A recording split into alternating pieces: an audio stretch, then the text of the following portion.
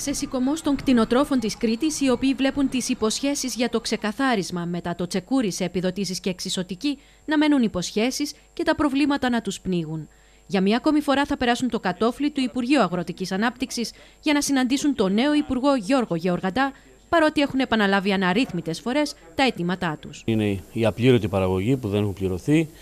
Ε, η προκήρυξη που έχει κάνει με τα βιολογικά προϊόντα που αν την αφήσει όπως έχει η Κρήτη θα μείνει συντριπτικά εκτός και το πρόγραμμα νέων αγροτών που πάλι στην Κρήτη το ποσό δεν είναι ανάλογο με άλλες περιφέρειες της Ελλάδος. Ένα από τα μέτρα που έχει εξαγγελθεί είναι και το 7% που θα δοθεί στους παραγωγούς χνοτρόφους για τα τιμολόγια που κόβουν για, τις, για τα κόστη που έχουν. Εγώ που είμαι παραγωγός, Γενάρη, Φλεβάρι, Μάρτι που είναι το μέτρο, δεν παράγω γάλα. Το γάλα μου το παράγω από τον Απρίλιο και μετά. Τους 12 μήνες λοιπόν τα ζώα μου δεν τα ταΐζω τροφή, δεν παίρνω τριφύλι, δεν παίρνω ε, φύραμα. Θα του κάνουμε μία πρόταση να μας δώσει σε εμάς τους παραγωγούς της Κρήτης ένα γενναίο επίδομα και εμείς θα του χαρίσουμε το ζωικό μας κεφάλαιο, τα χωράφια μας και όλα αυτά.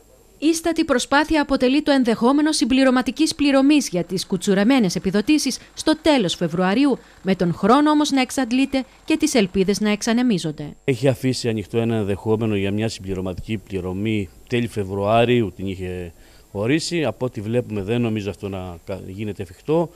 Θα πάει Μάρτιο, Μάρτιο περίπου, αν να δούμε και εκεί τι μπορεί να γίνει. Πιστεύω να διορθωθεί όσο περισσότερο μπορεί το πρόβλημα και όσο περισσότεροι κτηνοτρόφοι να πάρουν τα χρήματα που δικαιούνται.